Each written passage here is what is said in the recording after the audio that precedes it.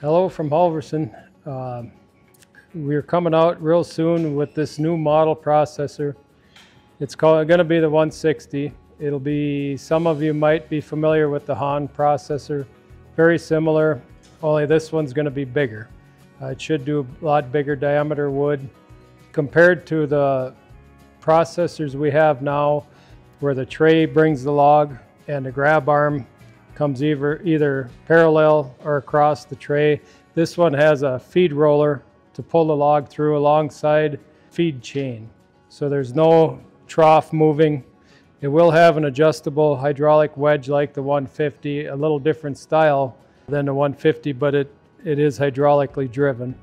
The measuring system is going to be laser controlled instead of on a proximity switch of the 150, 140. Hopefully we can start selling 1st of August towards the middle of August in that kind of a time frame. It is quite heavy compared to the 150. We're not totally sure yet even how heavy it's going to end up, but we know it'll be well over a ton. So you're going to need a machine, I'm guessing 75 horse or bigger, 90 horse to be more comfortable and bigger.